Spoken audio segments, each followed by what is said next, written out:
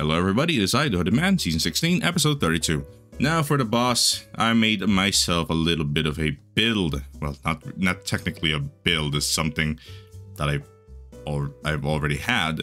I just saw on the internet, or at least on a certain place, that a that a dead that a hunter with deadfall can pretty much trivialize the the the part where you know us three guardians are gonna fight him on the on three platforms that'll slowly turn into um little uh, taken eh, taken pools. You gotta stand there.